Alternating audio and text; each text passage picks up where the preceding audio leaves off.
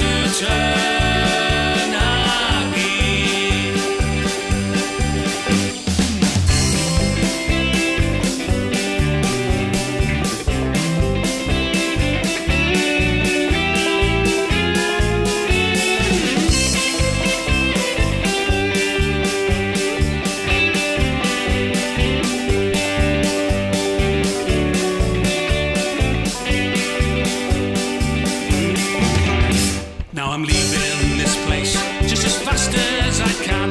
With just an old hurley ball and my rusty old.